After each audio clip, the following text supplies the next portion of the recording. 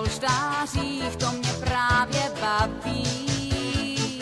Nic mě netíží, jen si prohlížím všechny šperky, co mám. Tak svět mi radosti chystá a v kramflecích jsem si jistá.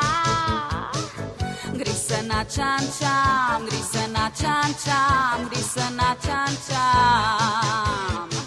Po drahých kobercích, chodit ve špercích, to mi zkrátka sluší. Hosty přijímám, jen se zajímám, co pak uší si dám.